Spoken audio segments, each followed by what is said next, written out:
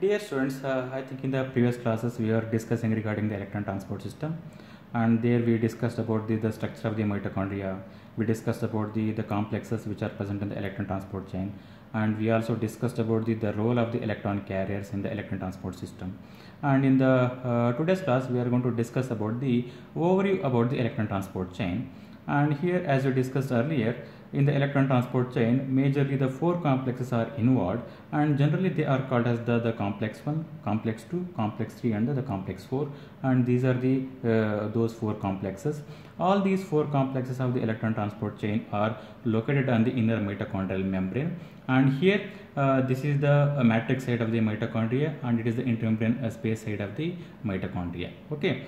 The complex one uh, it is called as the NADH dehydrogenase. And here in the complex one uh, to the complex one a molecule of the NADH it is going to donate the, the two electrons to the uh, complex one okay so here these two electrons are transferred to the, the, series of electron carriers which are present in the complex one.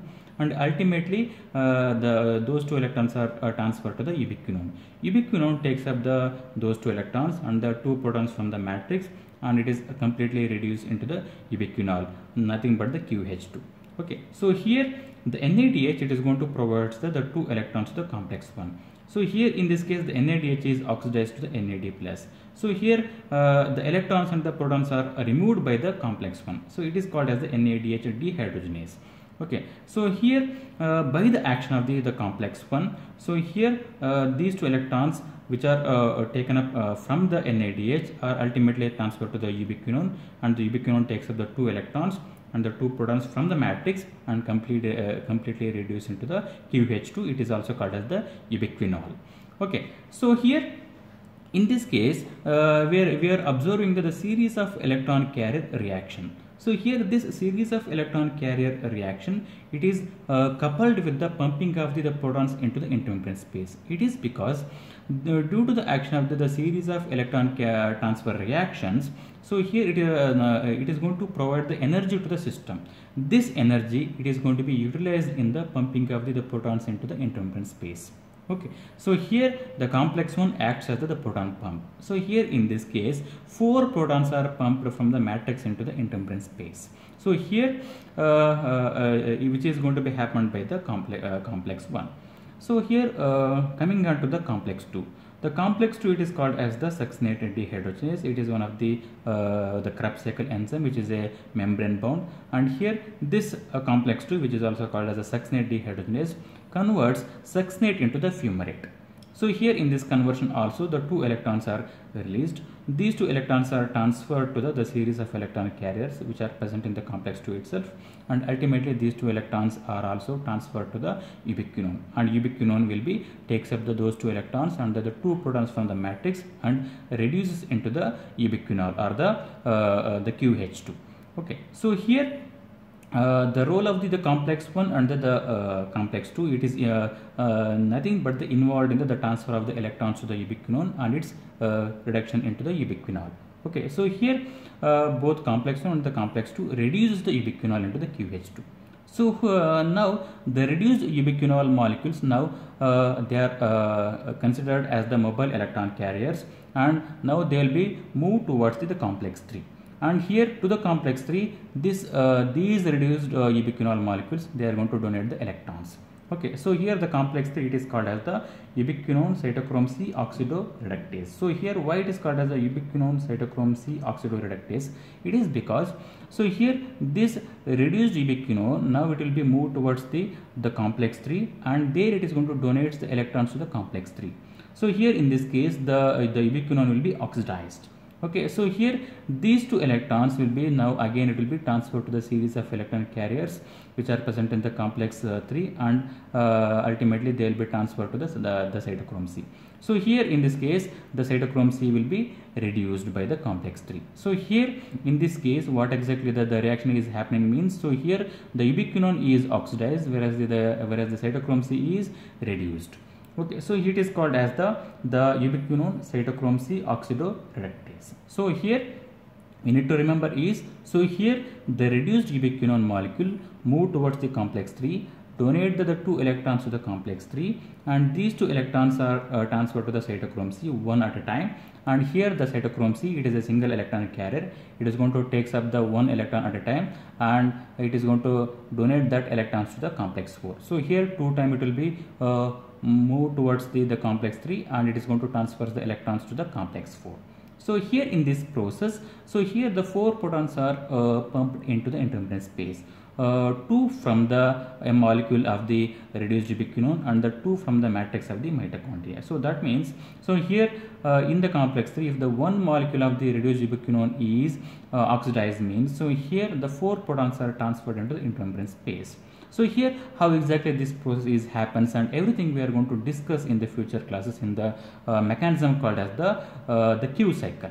Okay so now we need to remember that. So here if the one molecule of the ubiquinone is oxidized means so here the four protons are uh, transferred into the intermediate space. So uh, due to the action of the the uh, cytochrome c so here the cytochrome c transfers the, those two electrons uh, to the complex 4 one at a time. And those two electrons are transferred to the series of electron carriers which are present in the complex 4 and ultimately transfer uh, uh, those two electrons are transferred to the oxygen. Oxygen will be reduced into the water. A molecule of the water will be produced. Okay so here in this case so here due to the electron carrier uh, transfer reaction so here it is going to result into the the pumping of the, the two protons into the intermediate space. So here the two protons are pumped into the intermediate space. So here now we need to remember that. So here in all these cases so here all these complexes are uh, involved in the pumping of the, the protons into the intermediate space. So here if these complexes are operates means so here it is going to be result into the the pumping of the, the protons into the intermediate space. So here uh, due to this so here more and more uh, protons are accumulated in the, in the space and here its concentration in the matrix will be decreases. Ultimately it is going to be uh, result into the uh, creating the the proton concentration gradient what exactly going to happens it is going to result into the the creating the proton concentration gradient across the inner mitochondrial membrane. And apart from that one so here uh, more and more uh, protons are accumulated in the intermembrane space so that here more and more positive charges will be accumulated on the intermembrane uh, space side of the inner mitochondrial membrane. And it is called as the p side whereas in the matrix side so here uh, the positively charged molecules uh, number will be decreases and it is going to result in the creating the negative charge in the matrix side of the mitochondria which is called as the n side. So here it is also going to lead to the creating the electrical difference. Electrical difference across the membrane so here uh, we need to understand that one. So here if all these complexes are operates means, so here uh, protons are going to be pumped into the intermembrane space. So here the proton concentration is increases in the intermembrane space and it is going to result into the uh, proton concentration gradient across the uh, inner mitochondrial membrane and apart from that one one more important aspect observed is so here there is a uh, more and more uh, positive charge will be accumulated on the intermembrane space side and the negative charge will be accumulated in the matrix side. So here the electrical difference will be built up across the inner mitochondrial membrane.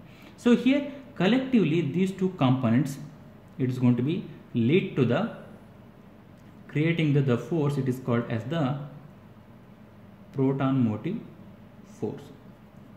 So here ultimately a proton motive force will be created. So we, we need to remember that. So here by the action of the all these four complexes, so here ultimately it is going to be result into the creating the a proton motive force uh, across the inner mitochondrial membrane that we need to remember. This proton motive force is ultimately contribute for the the production of the ATP. ATP will be generated it is because of the proton motive force. So here how exactly this will be takes place that we are going to uh, discuss in the uh, next classes. Thank you.